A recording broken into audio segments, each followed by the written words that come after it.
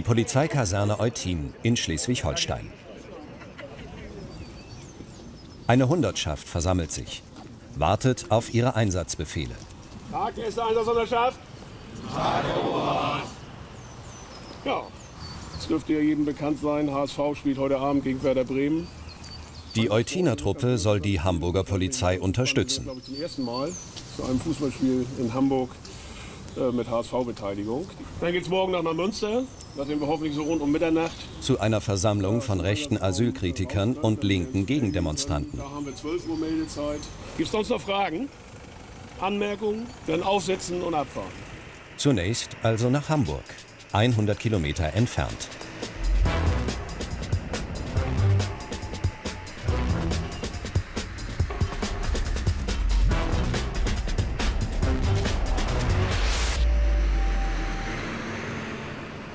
Jürgen Herdes ist Chef eines Teils dieser Eutiner Hundertschaft, der Beweissicherungs- und Festnahmeeinheit kurz BFE.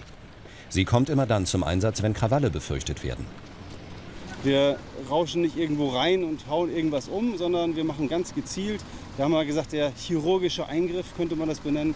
Also wir machen ganz gezielte Festnahmen auf zugewiesene Straftäter, ähm, um die dann quasi der Strafverfolgung zuzuführen. Der chirurgische Eingriff. Ob es heute in Hamburg oder morgen in Neumünster dazu kommt? Er und seine Einheit wissen es nicht, können es auch nicht wissen. Nur eins ist sicher, der erste Einsatzort ist das Gelände rund um das HSV-Stadion. 16.30 Uhr, Ankunft in Hamburg. Vier Stunden vor Anpfiff. Der Treffpunkt? Der S-Bahnhof Elbgaustraße, ganz nahe beim HSV-Stadion. Stefan Kahler ist einer der Truppführer der BFE. Einsätze bei Fußballspielen hat er schon viele erlebt. Was macht denn diesen Fußballeinsatz heute so brisant? Also die Brisanz liegt ja in diesem Derby-Charakter ähm, zwischen dem Hamburger SV und Werder Bremen. Das ist eine Jahre, jahrzehntelange Feindschaft, Fußballfeindschaft. Um zu herauszufinden, wer eigentlich der Beste im Norden ist. Und äh, die Fangruppierung, insbesondere das Problem-Fan-Klientel, kann sich seit Jahren nicht wirklich ab. Äh, und es sind fast zu jedem Spiel gibt es Auseinandersetzungen und äh, entsprechende Probleme, Sicherheitsstörungen. Noch drei Stunden bis zum Anpfiff. Es gibt einen Aufruf von den Hamburger Fans, dass sie sich am S-Bahnhof Elbgaustraße treffen wollen. Von da werden sie einen Fanmarsch machen und den werden wir ähm, abgesetzt begleiten. So heißt es bei uns immer. Das heißt nicht ganz nah ran, weil das provoziert immer und gibt unnötigen Ärger. Die halten uns zurück. Ist ja auch okay, dass wir nicht nah auf der Pelle sein wollen, solange da nichts ist. Aber man muss eben diesen, diesen kurzen Schritt auch haben, um möglichst schnell da sein zu können. Doch dann gibt es plötzlich neue Informationen. Wir haben jetzt äh, über Funk die Nachricht gekriegt, dass es am Elbgau an S-Bahnhof Elbgaustraße die ersten Böllerwürfe von Hamburger Fans geben soll. Das ist erstmal für uns das Zeichen, dass wir uns jetzt eine erhöhte Einsatzbereitschaft gilt, dass wir uns schnell fertig machen. Deswegen setzen wir jetzt auch schon Helm auf ähm, und warten jetzt auf weitere Maßnahmen, die jetzt. Äh, ja, Polizeikräfte werden jetzt beworfen. Ich denke, es geht so langsam los und wir wollen uns jetzt fertig machen und dann schon mal uns einsatzbereit machen. Zum S-Bahnhof oder zur Elbgau-Passage kommen. Dann dürfen wir die Elbgaustraße anfahren. Die Eutiner Polizisten sollen diesen Marsch der Hamburger Ultras stoppen, sofern die Ausschreitungen nicht aufhören. Vor Ort eine Überraschung. Es sind viel mehr Fans als von der Polizei erwartet. Tausend sind das. Ja. Ja, müssen wir mal gucken, ne? Was tun? Erste Maßnahme, die Wasserwerfer nach vorne bringen. Die Werfer kommen jetzt auch noch Ja. und die sollen die Durchsage machen an die äh, Teilnehmer und dann sollen wir die aufstocken jetzt. Ja. Links raus. Jürgen, ich werde dann erstmal eine Absperrung machen, ne? die ist aber recht dünn. Genau, wir stellen uns in Doppelreihe dahinter. Ja. Kräfte mal links rauf. Werfer von hinten.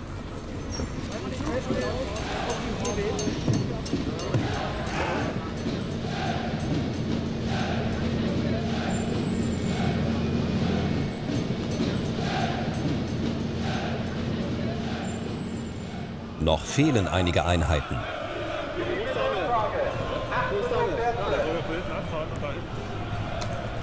Ist Kasi? Was? Kasi? So, die Kräfte müssen ran hier. Komm zurück.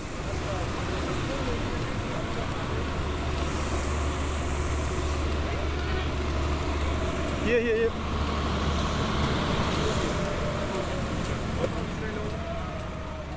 Dann eine erste direkte Kontaktaufnahme mit den Ultras. Die Truppaufstellung, ne? Also die Ansage war, dass der Fanmarsch so nicht weitergeht. Das haben Sie doch gehört, oder nicht? Okay? Geht das nicht? Geht das nicht? Das, das ist die Presse. Die Ja gut, aber das. können, Okay? können wir jetzt weitergehen? Nein. Warum nicht? Naja, weil die hier andauernd Pyrotechnik abzünden. Und die Ansage ist, so wird der Fanmarsch nicht funktionieren. Was soll jetzt aus sein, die Bengalos? Ja, genau. Solange die Fans Feuerwerkskörper in die Menge werfen, lässt die Polizei sie nicht losmarschieren.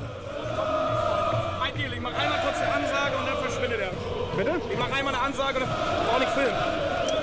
Hey! Wir brauchen nicht filmen. Wir machen hier die Ansagen. Wir machen die Ansagen. Ich mach, ich mach, ich halte die Kamera zu und er greift mich an.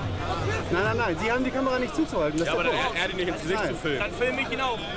Ja, machen Sie doch. Das ist doch egal. Lass uns jetzt noch einfach zum Stadion gehen mit Supportern und die scheiß Bremer und Volkspark jagen. Doch noch sind die scheiß Bremer nicht mal in Sichtweite. Also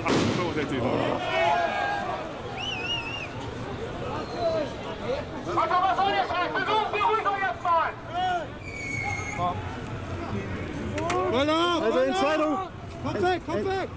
Die Polizisten warten auf Anweisungen per Funk. Die Einsatzleitung muss entscheiden, ob die Ultras weiter marschieren dürfen oder nicht. Also die Entscheidung PF steht, kein Fanmarsch. Aber klar ist auch, dass wir das so jetzt nicht halten. Der Wavi muss eingesetzt werden und das äh, klärt der PF gerade, er kommt jetzt nach vorne.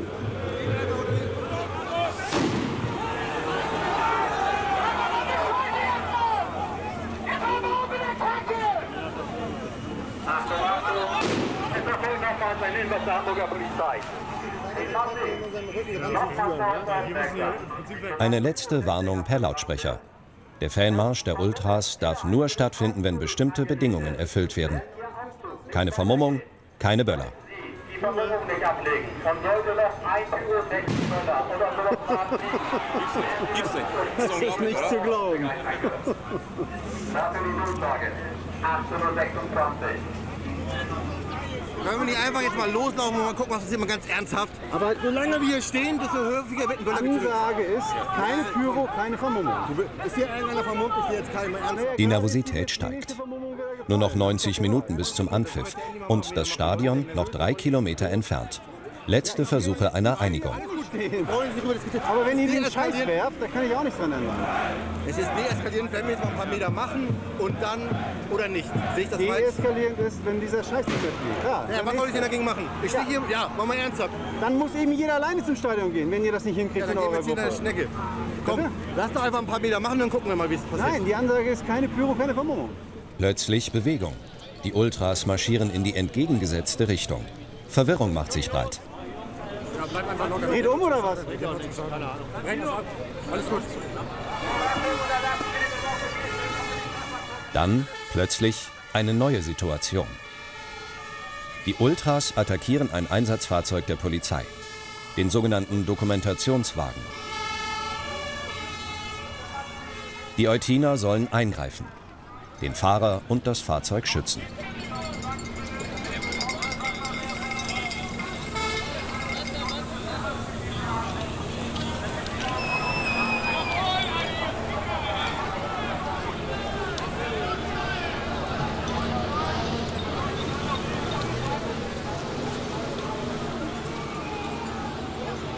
Jürgen Herdes geht nach vorne. Die Situation ist unübersichtlich. Noch immer fliegen Flaschen und Böller.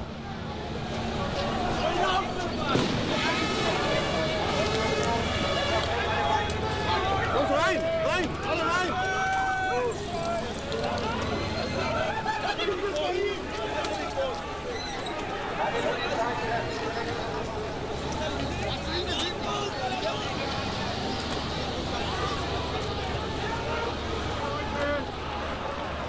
Aber die werfen von vorne, da können wir ja nicht zugucken.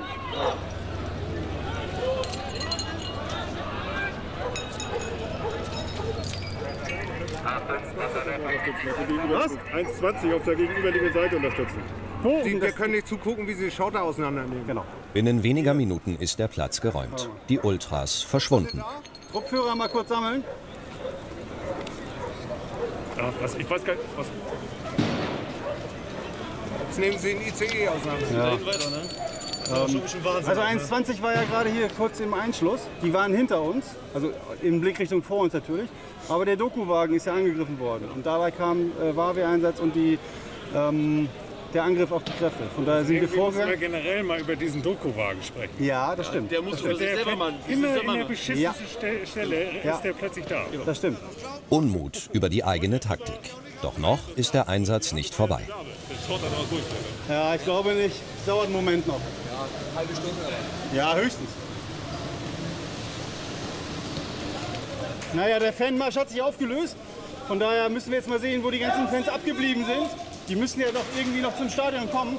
Und da müssen wir sehen, dass wir trotzdem dranbleiben jetzt. Konnten Sie den Flaschenwerfer fest? Nein, bis jetzt nicht. Wo sind sie nun, die Ultras? Alle weg. Ja, alle weg. Weiß ich auch nicht. Alle bei mir in der S-Bahn und ich renne hier rum. Sind die mit der S-Bahn gefahren? Ja, ja klar, mit Masse. Ah, okay. Ja, gut. Schauen wir mal. Nee, also letztendlich ist das eine zu große Gruppe gewesen als, und wir letztendlich zu wenig Polizeikräfte, um da jetzt derzeit Maßnahmen zu treffen. Kameraaufnahmen sind auf jeden Fall gelaufen, die werden letztendlich dann ausgewertet, äh, gleich jetzt in einer Pause und dann können möglicherweise auch schon Straftäter da erkannt werden, die dann in Folge möglicherweise festgenommen werden können. Hätte man was anders machen sollen? Also ich finde es schon richtig, dass die Polizei letztendlich konsequent hier vorgeht und diesen Fanmarsch verhindert, aufgrund der ganzen Vorkommnisse, Pyrotechnik etc. Und dann diese Aktion, äh, hier dieses Polizeifahrzeug anzugreifen und auch der durchgängige Bewurf zeigt eigentlich, dass die Polizei hier mit klarer Kante und mit einer klaren Linie richtig gehandelt hat. Die Polizei muss auch in gewisser Weise eine, eine klare Linie fahren und auch Härte zeigen und das ist in diesem Fall, glaube ich, auch geschehen. 19.30 Uhr, noch eine Stunde bis zum Anpfiff. Die Eutiner Polizisten stehen mittlerweile vor dem Volksparkstadion, suchen nach den gewalttätigen Fans. Auf den Videoaufnahmen, die die Polizei während der letzten Stunden gemacht hat, sind die Werfer von Flaschen und Böllern nur schwer zu erkennen. Deshalb zunächst keine Festnahmen. Dann ein Funkspruch. Der HSV-Sicherheitsdienst bittet die Polizisten um Hilfe. Im Stadion trifft der HSV zum 1 zu 0. Ein Fan, der trotz Stadionverbot das Spiel sehen wollte, wird von den Ordnern an die Polizei übergeben. Routine. Nichts Besonderes. Folge verhindern. Werder Bremen aktuell eben auf diesem Relegationsplatz in der Fußball-Bundesliga. Die wollen raus aus der Während das Spiel läuft, können die Polizisten kurz verschnaufen. Pause mit Kakao und Kaffee. Und Radioübertragung.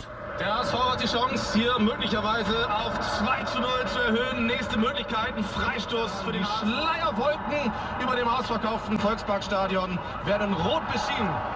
Jürgen Herdes bilanziert die letzten Stunden. Die Frage ist immer, was man da als Gewalt definiert. Also wenn wir Maßnahmen durchsetzen, dann ist das nun mal Gewaltanwendung. Ähm, das ist ja das Gewaltmonopol, muss man ja auch so sagen.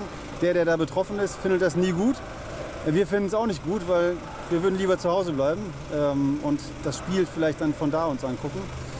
Von daher, ähm, klar gibt es die Kritik und es gibt sicherlich vielleicht auch mal Fälle, ähm, wo man das bewerten kann, dass es vielleicht ein bisschen zu viel war. Andere sagen, es war zu wenig. Äh, das wird, wenn es denn Kritik gibt, letztlich rechtlich überprüft. Abpfiff. Der HSV hat gewonnen. Dennoch werden die Polizisten von dem Ultrablock beschimpft. ACAB, so, dann Helm. ACAB. All Cops are Bastards. Alle Polizisten sind Schweine. Die Ultras werden zum S-Bahnhof begleitet, um Ausschreitungen gegen Bremer Fans zu verhindern. Es ist mittlerweile 23 Uhr. Bis jetzt ist es ruhig. Ähm, wahrscheinlich aber auch, weil wir dabei sind, weil sie das auch genau gesehen haben und wahrnehmen. Und von daher, gucken wir. Wir haben uns ein bisschen zurückgezogen jetzt. Im Hintergrund warten wir und glauben, dass es jetzt friedlich zu Ende gehen wird. Mitternacht. Es ist friedlich zu Ende gegangen. Ja, genau. Wir bleiben aber so. Wir bleiben so. Ne? Ja, also ähm, ist tatsächlich, wir sind jetzt entlassen. Also wir müssen gar nicht auf den Funkspruch warten. Ähm, die Kräfte, die uns jetzt hier abgelöst haben, übernehmen das im weiteren Verlauf. Und da wir ja dann morgen wieder nach Neumünster äh, müssen, hat der Polizeiführer jetzt geklärt, dass wir quasi jetzt hier entlassen sind. Abfahrt. In ein Hamburger Hotel.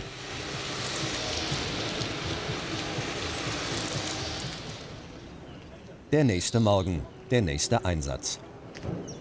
Das hakt man eigentlich relativ schnell ab, weil die Anlässe ähneln sich immer. Es ist dann immer ein anderer Ort und es sind andere Beteiligte. Aber wie gesagt, gestern war Fußball, heute ist es Demo. Neuer Tag, neue Demo heute. Schauen wir mal.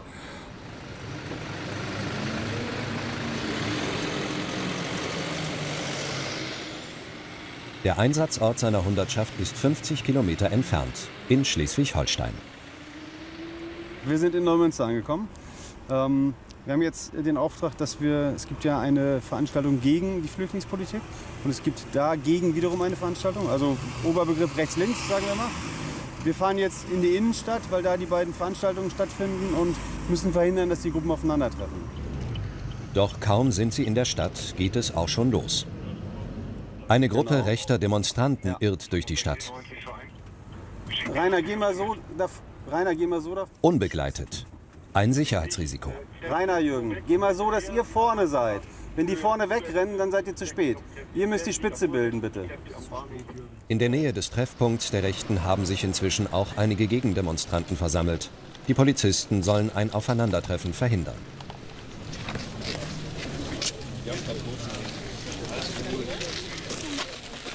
Schleichwege sollen dicht gemacht werden.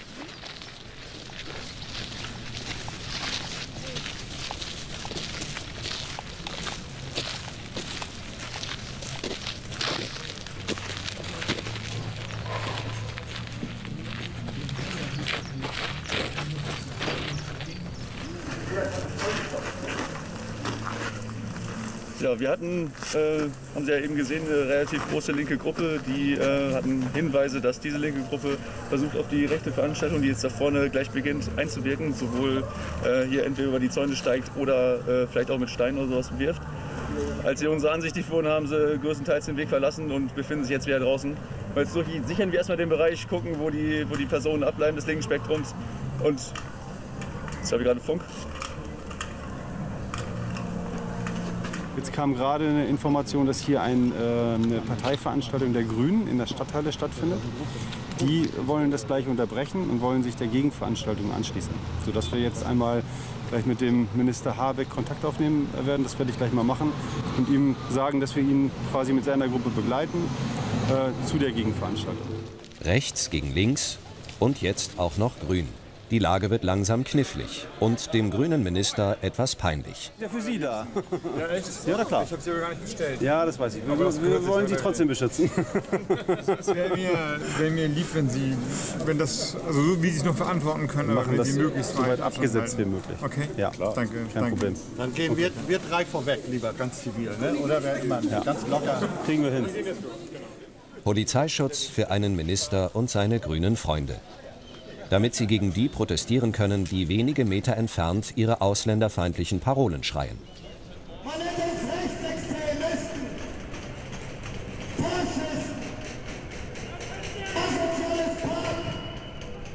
Sind wir nicht. Wir machen uns Sorgen um unsere Heimat. 32 Menschen teilen diese Sorgen um unsere Heimat.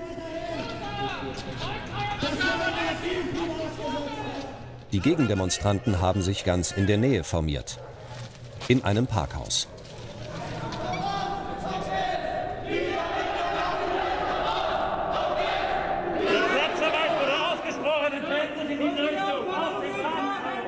Die Polizei räumt das Parkhaus, will ein Aufeinandertreffen der beiden Lager verhindern. Die Wut der Linken, sie richtet sich nun gegen die Polizei.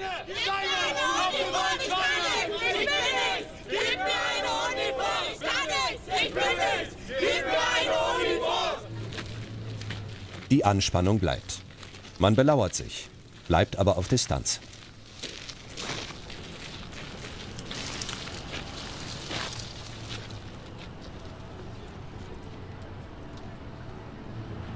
Das ist, der ganze Tag ist in der Hinsicht Katz-und-Maus-Spiel. Wo ist die Lücke? Wo kommen wir an die Rechten ran?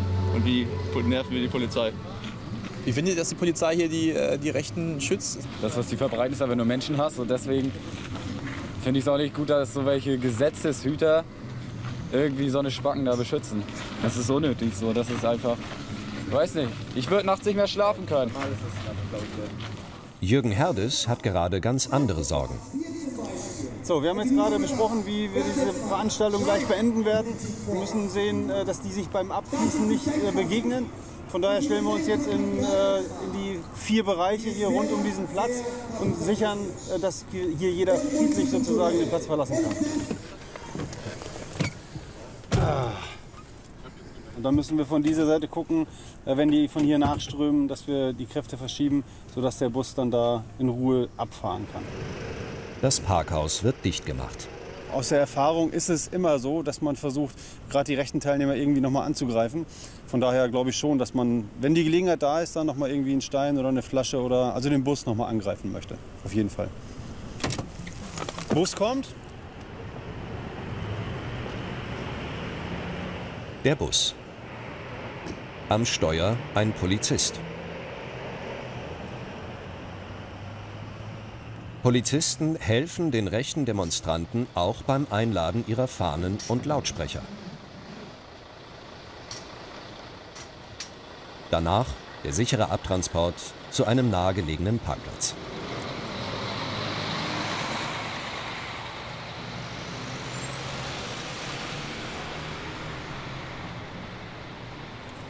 Der Busfahrer war ja ein Polizist. Ich gehe davon aus, dass das Ja. ein Polizeibus war. Wir waren ein angemieteter Bus. Okay. Mhm, genau. Ist das äh, ideal, dass die Polizei dann noch dafür sorgt, dass die. Äh, Naja, es ist natürlich äh, die sicherste Variante. Ne? Das, äh, ansonsten rennen wir hier irgendwie drei Stunden jedem Einzelnen hinterher, der irgendwo nochmal angegriffen werden könnte. Von daher hat sich das eigentlich bewährt, dass wir irgendwie einen Bus organisieren, ähm, um die dann geschlossen quasi wieder zu ihren Autos zu bringen. Das heißt, der, deutsche Staat zahlt dann auch noch für den endgültigen Abtransport bis zum Ende sozusagen. Naja, der, der zahlt ja auch äh, das Versammlungsrecht insgesamt. Von daher ähm, würde ich das damit dazu rechnen. Wenn es denn deswegen friedlich bleibt, ist das eine geeignete Maßnahme. Der Einsatz in Neumünster ist beendet. Hamburg. Mal wieder. Ein neuer Einsatz für die Eutiner Polizisten. Krawalle werden befürchtet, wenn sich das alljährliche Ritual wiederholt.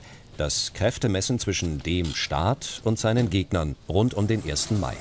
Also letztendlich gehört Angst in gewisser Weise dazu. Äh, Angst, oder, Angst ist vielleicht das falsche Wort, aber eine gewisse Respekt vor der Situation, das finde ich gehört dazu. Und ähm, ist auch normal, dass man äh, Anspannung hat und aus dieser Aufmerksamkeit, aus der sich letztendlich Aufmerksamkeit auch resultiert. Und das ist normal und das ist aber auch der Job, den ich mir ausgesucht habe. Und das gehört dann letztendlich auch dazu. Das ist eine gewisse auch eine Form der Herausforderung. Die heutige Herausforderung eine Demonstration autonomer Gruppen. Das Thema der einen Demo heute ist ja das Klassenfest gegen den Staat und gegen das Kapital. Von daher ähm, wollen wir beim Klassenfest ein bisschen mitmachen, vielleicht. Da haben wir schon einen, einen Gast dabei. Ähm, und wie gesagt, ich hoffe, dass einfach für uns nichts passiert, dass wir äh, ohne Verletzte nach Hause kommen und all das, was vielleicht entsteht, irgendwie im Keim ersticken zu können.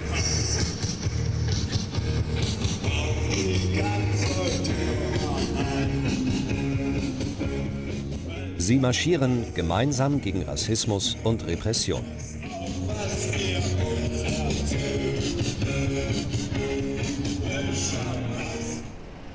Die Eutiner Polizisten bleiben auf Distanz, sollen nur bei Ausschreitungen eingreifen. Um die wenigen Auseinandersetzungen in der Nacht kümmert sich die Hamburger Polizei. Der nächste Morgen. Es ist Sonntag, der 1. Mai. Für die Eutiner Truppe beginnt der Tag mit einer Überraschung. Kurz vor dem Beginn einer Demonstration kontrollieren sie fünf Jugendliche und werden fündig. Es hat sich ja so ein Begriff äh, verfestigt, der heißt erlebnisorientierte Jugendliche. Das sind diese wohl gerade. Also da muss man äh, ein waches Auge haben, vielleicht so ein bisschen Erfahrungswissen aus Demonstrationen. Aber wie gesagt, wenn man sich die jetzt hier anguckt, die sind ab 15, 16, 17. Ähm, hätte auch ich nicht gedacht, äh, obwohl ich relativ lange bei Demos dabei bin, dass die solche Dinge dabei haben. Gemeint sind diese selbstgebauten Sprengsätze aus Böllern und Spraydosen. Sie waren in Rucksäcken versteckt. Jürgen Herdes ist entsetzt. beim Aufmachen haben wir wirklich unglaubliche Dinge gefunden. Da sind Spraydosen mit Farbe oder Haarspray, was erstmal ja noch nicht so schlimm ist, aber da sind, äh, ist Pyrotechnik dran festgeklebt, sodass man sich nicht vorstellen mag, was passiert, wenn so eine Dose neben dem Kopf äh, eines Kollegen hochgeht. Nach diesem Fund wieder die Routine. Den Demonstrationszug begleiten. Aus der Distanz. Doch noch ist unklar, was genau die Demonstranten planen. Wir lassen uns ein Stück zurückfallen. Ja. Äh, Das heißt, wenn, wenn Sie da so eine Durchbruchsaktion haben, dass wir auch mit entsprechendem Schwung entgegen können. Na, dann gehen wir aber auch in Achten aufeinander geschlossen vor. Ähm, Reihenfolge? Haben die hier 130 Mann auf der Straße, dann sollten wir Ja. schon, glaube ich, schaffen, dass wir das aufhalten. Ich schicke erstmal die zwei Züge okay. in die Absperrung und dann können wir sehen, wie der Druck zu stark wird. ihr hinter. vielleicht mal Genau. rein oder mal Ja, von der Seite kommen oder was? Gucken. Deswegen lassen wir, das ist so unser Abstand hier. Also Abstand halten. Bis auf weiteres. Also hinten laufen sie noch. Herr Ernst, wie ist die Lage gerade? Naja, ich komme mal ein bisschen nach vorne. Ist besser. Ist ein bisschen unübersichtlich gerade, weil der Aufzug manchmal mehrfach gestoppt hat. Die wollten wieder zurückgehen, jetzt wollen sie wieder nach vorne gehen. Gerade haben sie angedroht, dass sie auch zur Not durchbrechen würden. Deswegen haben wir uns jetzt ein bisschen rundum wieder postiert und gucken mal. Im Moment geht es friedlich vorne weiter. Aber wir sind auf alles eingestimmt.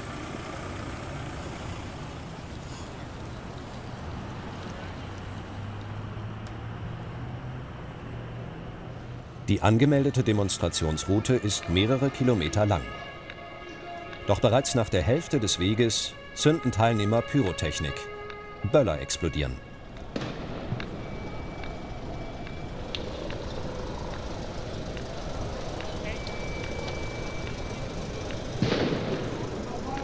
Die Eutiner verkürzen die Distanz. Rücken näher ans Geschehen ran. Wir bleiben in der Formation. Noch ist unklar, wie es weitergehen soll. Konfusion. Man wartet auf die Befehle der Einsatzleitung. Ja, wir müssen aufmachen, das ist ja Quatsch.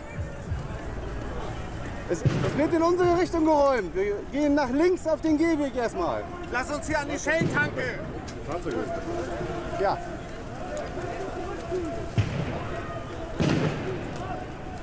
Also die Demo ist jetzt aufgelöst worden von der Polizei, weil es unfriedlich geworden ist. Das heißt, die ganze Einschließung wird jetzt gerade geöffnet und wir reagieren jetzt nur noch darauf, ob es weiter unfriedlich bleibt.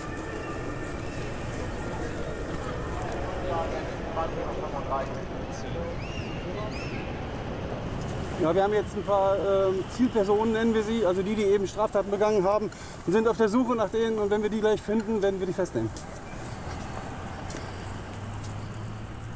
Sie suchen und rennen. Vergebens. Wenig später eine neue Zielperson. Ja, wir haben da einen Steinewerfer, den versuchen wir mal zur Seite zu nehmen. Ne? Okay. Nur, dass ihr Bescheid wisst. Ja. Hier vorne gleich? Ja.